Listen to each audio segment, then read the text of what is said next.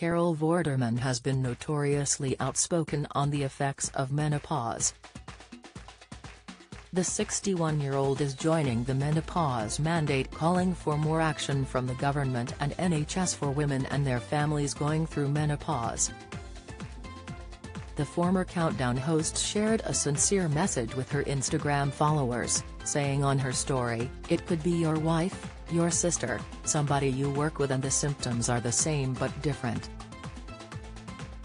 Mine were not physical but they were psychological to the point where I didn't know how to get out of the blackness for quite some months.